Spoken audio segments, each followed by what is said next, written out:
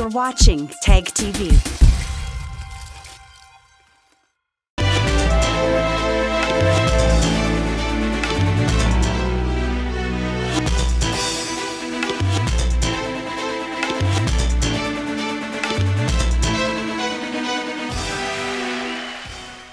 From Kashmir to Kanyakumari, India is a spellbinding mosaic of culture, tradition, languages, and an extraordinary mingling civilization. Keeping its age old culture maintained, today the country is taking huge strides on the path of development. Hello, I'm your host Uzma Jafri, and today in our episode of My India, we bring you some of the stories that will give a glimpse of our country's diversity. Kashmir is famously referred as the paradise on earth. Its lush green forests, snow-clad peaks, hissing springs, apple almond orchards, saffron fields and floating gardens in Dal Lake are well known for their beauty. In order to attract more tourists to the region, a two-day houseboat festival was recently organized at the Dal Lake in Srinagar. Take a look. Winters in Kashmir Valley might be chilly, but are a sight to behold. Celebrating the essence of winters in the valley as well as catching eyeballs of tourists, every year the famous Houseboat Festival is organized at the Dal Lake in Srinagar. Organized by the Tourism Department of Kashmir, the two-day festival is an extravagant show of the Kashmir Valley's distinctive shikaras or houseboats, culture, food and art. The purpose of this festival is to show that uh, everything is active in Kashmir. Kashmir is not dull in winters. We have a vibrant winter. It's a part of that initiative that everything is vibrant, everything is running, everything is fantastic. So we welcome all the tourists. As you can see even though it's winter there are tourists all around and it's a packed house. So it's wonderful to see people coming in. And uh, we hope that we can organize many more such events so that many more people can come. We want kashmir to be a four season destination not just a spring summer destination. So because of that we we organized this festival to show that even in the middle of the city when people say that the city is dull it's not. It's vibrant it's running. As you can see there are guests there are tourists. Everybody is all around. There's media here i think it's fantastic Marking the festival, shikaras or houseboats were beautifully decked up with lights, giving them a bright and beautiful look, especially during the dark. A floating stage was set up on the Dal Lake where around 15 to 20 local bands displayed their melodious performances. Along with live music, audience were also enthralled to witness different dance performances that showcased Kashmiri culture and traditions. An art display, laser show and other activities were also a part of the festival. हम लोग सिरसा से आए हैं पूरा group हमारे साथ है और आज 42 साल हो गए हमारे एक ड्रीम था कि कश्मीर में आना है और आज आके हमें ऐसा लगा कि इट्स नॉट जस्ट कश्मीर ये जन्नत है। और अभी हमें चार दिन और एंजॉय करना है यहाँ पे। पूरे ग्रुप के साथ हम लोग पूरा फन कर रहे हैं। मेरे ख्याल से हमने ना चेक इन नहीं किया होटल में। हम तक अभी सिर्फ़ हम हमें ये नहीं लगता कि हम इसको कवर कर पाएँगे। तो मैं जो जो अब तक नहीं कश्मीर आए हैं, मैं उनको ये कहना चाहता हूँ कि हर साल अपना प्रोग्राम बनाइए। एक बहुत ही सुंदर, एक धरती के ऊपर स्वर्ग है। और Hornbill festival is very one of the best ये हमें हम अभी ये होटल की तरफ़ जा रहे थे। और हमें अभी ये एक फेस्टिवल कश्मीर का इसको प्रमोट करना चाहिए बहुत ही अच्छा एक गवर्नमेंट ने बहुत ही एक अच्छा मैं कहता हूँ कि एक अपॉर्चुनिटी दिया लोगों को इस फ़ंक्शन में आने के लिए इस टूरिज़्म को प्रमोट करने के लिए Dal Lake is well known across the world and thousands of tourists visit Kashmir each year to take in the valley's breathtaking splendor.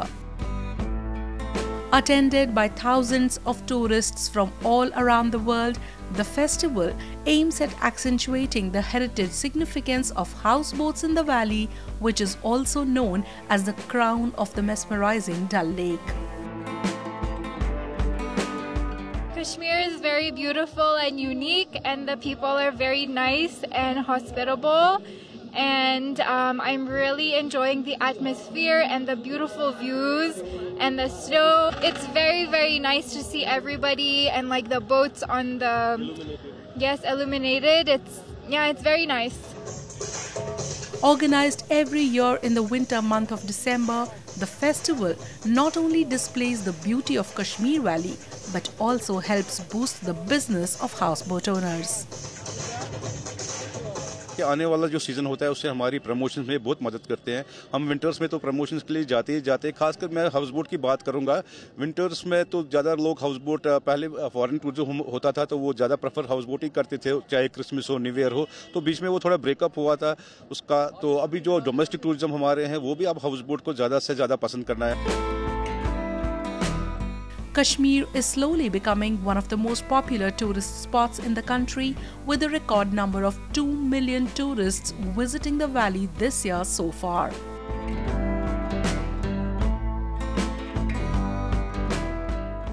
The world renowned lock making industry in Aligarh employs a large workforce. This includes both Hindus and Muslims. So today in our series of beautiful examples of communal harmony from across the country, we will take a look at how the lock making industry of Aligarh has been propagating the message of peace and brotherhood. We have a report. Aligarh's centuries old lock making industry, which comprises 5,000 organized and as many unorganized units and employs over 2 lakh workers, is famous around the world. Apart from its famous lockmaking, the over 4000 crore industry presents a unique example of communal harmony in the country. Aligarh has a mixed population of Hindus and Muslims and they have been working together since ages to make this industry stronger by the day. ये हमारा ताला उद्योग का काम है। हम ताले का निर्माण करते हैं हार्डवेयर का निर्माण करते हैं। हमारे यहाँ L drop tower bolts locks इसकी निर्माण होता है। इसमें चाबियाँ ब्राइट ब्राइट प्लांट्स इसमें हिंदू भी हैं मुस्लिम भी हैं। हम सब लोग एक प्रेम पूर्वक यहाँ पर एक आपस में एक सामंजस्य बनाकर काफ़ी प्रेम से हम लोग इस कार्य को करते हैं और इन उद्योग में काफ़ी समय से हम लोग काफ़ी मतलब आराम से जुड़े हुए हैं और हम लोग स्वादपूर्व इस काम को कर रहे हैं। Aligarh city has been making locks since Mughal period.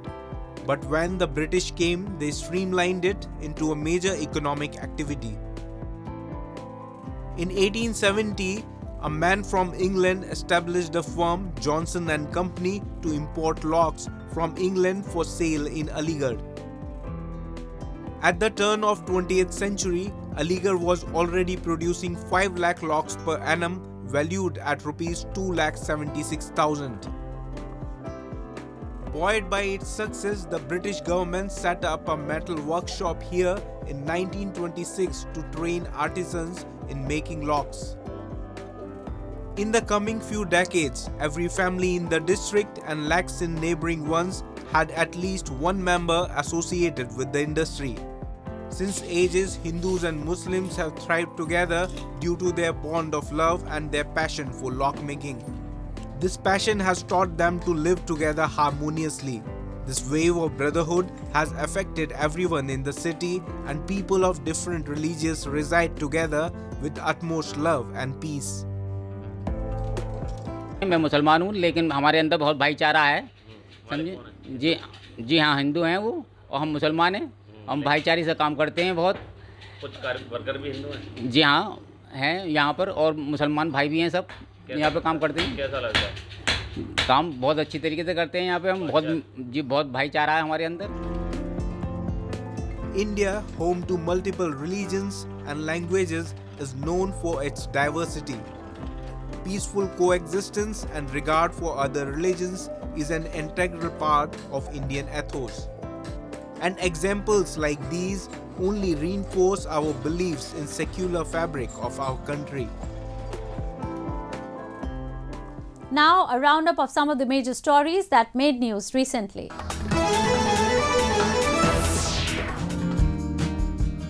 Television and Bollywood celebrities raised the glamour quotient in designer outfits at the Indian Television Academy Awards in Western Mumbai City.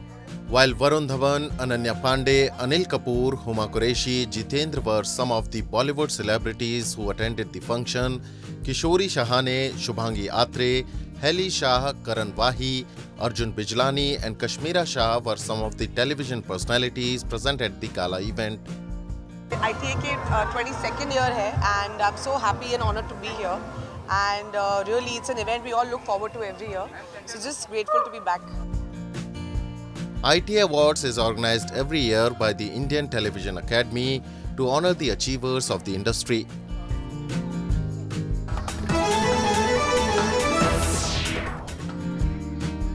Students in India's northern Gurugram city thronged the Aravali mountain range that stretches through northern and western parts of the country to protest deforestation of the hilly area as they observed Aravali Day.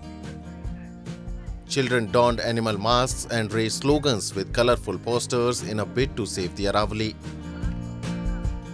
It is a home for more than 200 species of trees बहुत सारे migratory birds हैं animals हैं जो यहाँ पे रहते हैं तो उनका जीवन बचाना भी हमारे हाथ में है हमारे पास कोई राइट नहीं है कि हम ऐसे ही उनको काट दें पेड़ों को हम उनका घर छीन ले it will lead to animal and human fight The students, along with the Waterman of India, Rajendra Singh, and other teachers, stood on the mountain steps in queues as they sloganeered for saving nature. The Aravali range largely influences the ecosystem and pollution levels of the surrounding national capital region. However, in recent years, the mountain range suffered decay and deforestation owing to urbanization which has impacted the birds and animals living who had their homes in the forests apart from human lives.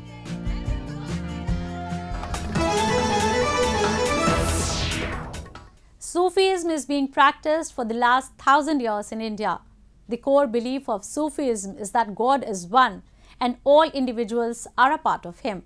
The dargahs of Sufi saints have long been acting as a cynosure of religious unity in the country for generations. Today we will take you to the shrine of Baba Ishaq Madina Dargah, which has been uniting various faiths for generations. Here we have a report on this. Vishakhapatnam is a port city widely recognized for its rich culture, heritage, and history. It is also known as the City of Destiny or the Jewel of the East Coast of India. The city has three picturesque hillocks, each with its own religious significance. One of them is the Baba Ishak Madina Dargah or the Dargah Konda Hill, which is visited by people of different religious communities. इस दरगाह में जो है हिंदू, मुस्लिम, सिख, ईसाई सब लोग हाजिर देते हैं। बाबा का दुआ लेते हैं और जाते हैं। हिंदू, हिंद, सिख, ईसाई सब लोग आते हैं। बगल में भी आपको जानते हैं कि मरियम पहाड़ भी है, वहाँ भी ज़्यारत के लिए हिंदू लोग आते हैं और उधर भी, उधर से लोग इधर भी आते हैं। कंपलसरी जो भी हजरात इधर आते हैं, विशाखापट्टनम पहली बार आते हैं तो यहाँ विज़िट करते हैं। यहाँ के दरगाह में दुआ लेते हैं बाबा से। उसके बाद ये समंदरी इलाका देखने का अच्छा जगह है तो लोग आते हैं। लगभग लोग लोग कम से कम सौ दो सौ लोग आना जाना कर रहता है यहाँ। It's been said that Baba Ishak Madina Wali came from Makkah Medina along with some of his followers around 600 years ago and settled on the hill. Legend goes that the saint appeared in Aurangzeb's dream and summoned him purposely. The has been standing still for hundreds of years amidst all natural calamities. An annual Peer festival is also organized in the city, which is visited by not just Muslims but a large number of Hindu devotees. यहाँ पर हर कोई लोग आते हिंदू आते मुसलमान आता Christians आता आके जो कुछ भी है उन आके दुआ दरूद पढ़ते और सलाम दुआ करके जाते हैं ये दरगाह का हिस्ट्री है It's been said that the saint has always worked for the welfare of humanity and all those who visit this shrine gets all wish fulfilled. A comic book convention or a comic con is an event with primary focus on comic books and pop culture which is attended by fans all over the world to meet creators, experts and share their love for fiction and superheroes. Recently, the Comic Con Fest was organized in New Delhi, which was attended by geeks, fans, and creators. Take a look. Video games, comic books, and cartoons are surely one of the best things about childhood. The biggest celebration of pop culture in the subcontinent, comic book nerds, gamers, anime, and manga lovers thronged the Comic Con Fest Delhi, which returned with much grandeur after the two year pandemic break. Fans, dressed up as their favorite superhero, or comic book characters attended the fest and played video games along with exploring latest comics and books. It's a Templar Knight from Dark Souls series जिसमें basically you're the this is the first character you kill in the game actually and the first NPC you kill. First of all, it's a funny character to be because it's basically the first character you kill, and after that they are the only character who are like pesky mosquitoes and, and they will never leave your side. It's the only character who is repetitive till the boss fight as well. And second of all, it is the inspiration for all sorts of games like Assassin's Creed and the Bread Boys, etc. So it's quite a funny character to be actually. Cosplayers or customized role players dressed as their favorite characters like Thor, Batman, Scarlet Witch, Templar Knight, Levi Ackerman, Obito Uchiha, and Sasuke Uchiha, among others. This year, with over 20 leading Indian and international artists showcasing their work, the extravaganza saw big names such as Abhijit Kini and Matt Hawkins. This year, taking the entertainment quotient a higher notch, popular stand up comedians participated in the event. Various zones were also set up by Warner Brothers and Marvel Studios, which offered exhilarating experiences of their favorite movies. मैं यहाँ mostly हर साल ही आया हूँ ये काफ़ी अच्छा like get together है with friends नए कॉस्प्लेयर से मिलने को मिलता है नए लोग मिलते हैं अप्रिशिएट करते हैं आपकी कॉस्ट्यूम को तो इट्स लाइक like, आपको ऑलमोस्ट सुपरस्टार वाली फीलिंग आती है I'm feeling really amazed right now because it's been some time since I've been in such a huge gathering and it's an amazing place to be. It's Comic Con. And it's my first year, first time and first year here. Comic Con got its start as a convention for comic book lovers who would come together to trade magazines, talk comics, explore science fiction, and dress up as their favorite superheroes. With the rise of comic book films in 1990s, Hollywood began showing up. And in the end, we bring you a few short stories about the recent developments and happenings from around the world in our section of World in Focus.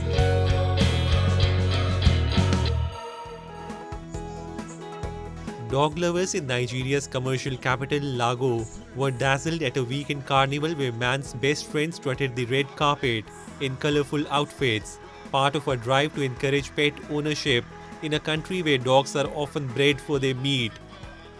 Jackie Idimogu, organizer of the Lagos Dog Festival, now in its fourth year, said the show was aimed at debunking stereotypes of Africans mistreating dogs.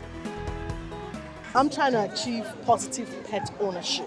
So there is a stereotype of Africans not liking dogs or not treating their dogs the best. So with Lagos Dog Carnival, I've been able to help humans understand that dogs are not just for guards, like they're not just to, to be kept at the gate or outside the compound. American Eskimos, Neapolitans, French Bulldogs, a Siberian Husky, and American Staffordshire Terrier, Maltipoo, Poodle crossbreeds, and Golden Retrievers were some of the dogs that took to the red carpet and won prizes. Pasha, a six year old Caucasian Shepherd mix, was crowned Dog of the Year. He wore black sunglasses and a matching red and black scotch outfit with her owner Hadiza Saidu. Panda, a black poodle mixed breed, won the Princess in Pink award for her bright outfit, and the prize of green with envy went to Ella, an American Eskimo dog, for her floral dress.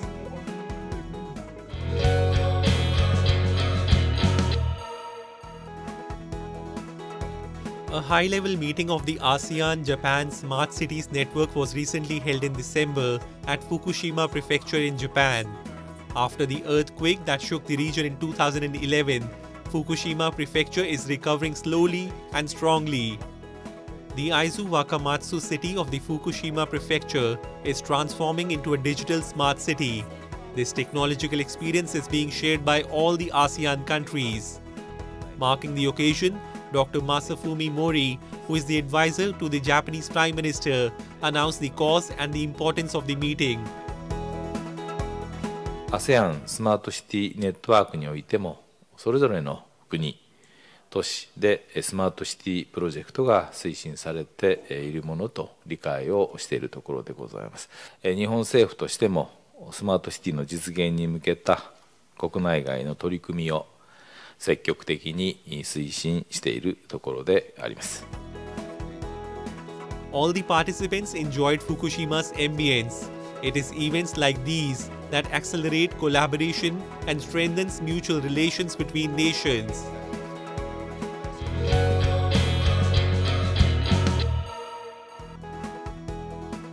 Christmas light displays have lit up across Sydney, enchanting and encouraging residents to enjoy the festive season in the heart of the harbour city. The tallest Christmas tree in New South Wales, with over 100,000 sparkling LEDs and several hundred baubles, thrilled onlookers in Martin Place with its vivid light and sound display. Sydney's largest Catholic cathedral, St. Mary's, was illuminated with luminous projections portraying scenes from the Old Testament through to the birth of Jesus. A canopy of light greeted shoppers above Pitt Street Mall, while in Darling Harbour, a radiating giant bauble captivated spectators.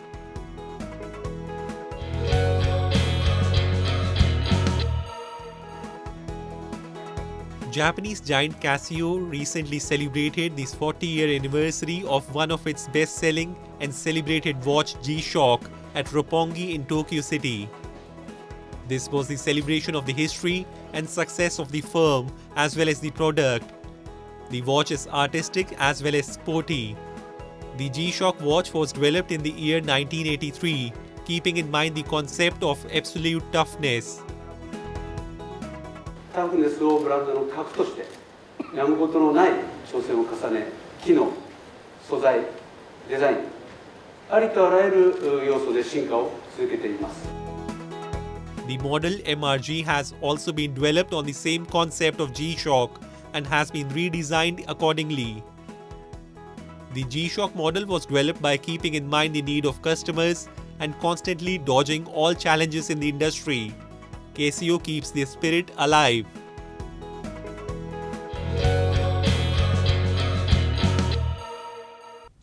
That's all we have for you this week. Your comments and suggestions are important to us. Do give us your feedback at myindia at anin.com.